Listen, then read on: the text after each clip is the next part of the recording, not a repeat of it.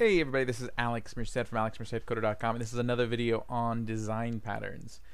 And in the previous videos I talked about what was called creational design patterns. So this is like factory and prototype and singleton. And the idea behind all these patterns is creating. You're creating an object. Okay, so basically a prototype, you create a object by cloning it.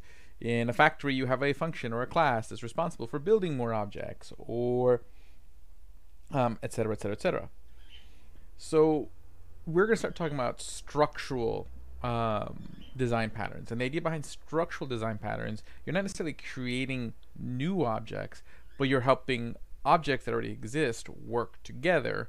Um, so these are kind of in-betweens between other objects. So that way um, they work together better. So let's imagine a scenario where, and first we'll just get this conceptually, and then we'll just kind of do like a, uh, a mini kind of code piece.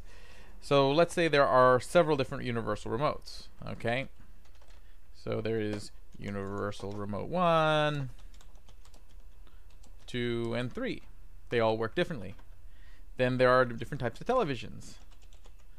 And they all work differently. So there's television 1, 2, and 3. But generally the way it should work is I should be able to use any re universal remote with any television. Okay, there's got to be something that kind of allows that to happen. Sort of that allows me to kind of mix and match these things. And that's going to be sort of our bridge object. Okay, this is called the bridge pattern. So what I'm doing is I'm creating an object that would take, you know, a remote and a television and matches them up together so that way they can work together. Okay, um, so when you think of a bridge, it allows two things that are separate to work together. Okay, it connects them. Okay, so this would be and I'm not, we're not going to create full-on classes right now, so we're just going to pretend that they exist. It would be kind of like me saying, hey, you know, uh, basically my remote equals a new universal remote. So we're just pretending there's a universal remote class. Okay. And then my TV equals a new TV. Just pretend there's a TV class. Okay, and then basically we we have a class that connects the two called uh, you know uh, pair. So you're pairing your TV and your remote, and we'll call this new pair device. It's a pair device object, and what it does, it takes my remote and my TV,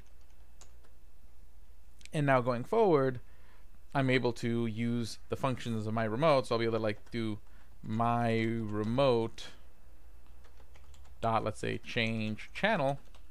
So this may be a function that's built into my remote um, that changes the channel. And now when I use that function, if I go to my TV and see what channel is on, it'll have the channel that I specified. That's it'll now allows them to use their affect each other's properties because this pair device figures out how to make that connection.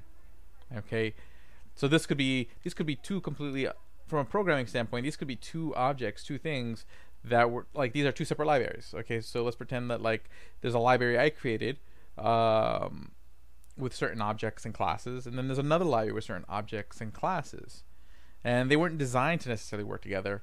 But now I've created this pair device thing that allows them to work together that is the adapter approach. You're creating an object to allow other objects to work together in ways that they weren't necessarily originally designed to do. Okay, but this is kind of a good sort of illustration of the concept. Okay. Now there is builder, I mean bridge, which is what we just illustrated, that allows two things to work together.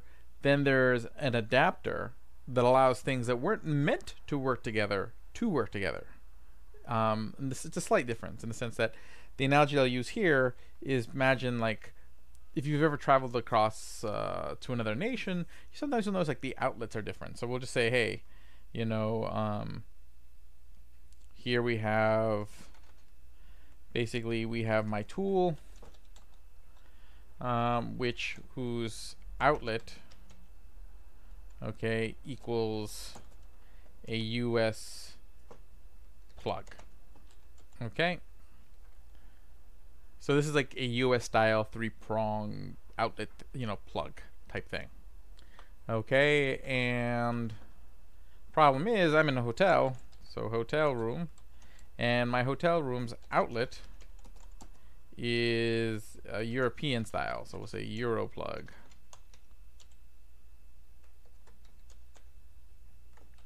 Okay. So we'll make these kind of classes. So I'll just do this. New. New. And the thing is that these aren't made to, actually we'll call this Euro outlet, because it's not a plug, it's the outlet. So plugs are supposed to plug into outlets, but a US plug is supposed to plug into a US outlet, and a Euro outlet is supposed to be plugged in with a Euro plug. So then maybe I create some so in order to kind of deal with this issue, I create like an adapter class. Okay, and then basically with my adapter class, so we'll say new class um, adapter. And what this class does, it uh, constructor, it takes in a plug and an outlet. Okay and then what it does, it'll create. Uh, what's the way I want to say this? Okay, so this adapter will have a. If you've ever seen like in how adapters work, the the part with the prongs is called the male end, and the actual part where you stick the prongs in is called the female end. So we'll say the female end. So this will just kind of identify what the outlets are, and I'm not going to sit there and design all this logic right now, but we'll say, hey, you know, uh, this dot female equals US outlet. So basically it has a, a US female end for me to plug uh, the US plug into. And then it has another end that's male, so this dot male end, that is a Euro plug. Okay, so now I'm able to plug in the Euro plug piece into the Euro outlet and plug in my US plug into the U to into the US outlet that's part of this adapter. Okay, it's literally like how the logic behind a real world outlet adapter. But this class acts as that in between. Okay, so it's not that I'm like giving new functionality between the two. So unlike Bridge, it just says, okay, here, here these things are going to work together. What this does is that these things can't work together, and the adapter does the things that need to happen on both ends to make them work together and that's what and it sounds very similar which is why i'm doing them in the same video but that's the kind of the concept behind these sort of two uh, types of design patterns okay? So again struct bridge and adapter. I mean they're trying to make two things that something that doesn't naturally work together work together or i'm trying to create to create a new sort of relationship between two objects that didn't have a relationship before by creating a sort of in-between object that leverages both their functionality. But either way, you have that in-between object uh, that interacts, that basically leverages the properties and methods of both of the external objects. That's the idea here, and that's why they're called structural design patterns because they're they're all about how other objects work together. Cool. Hopefully you guys enjoyed that. I'll talk to you guys later.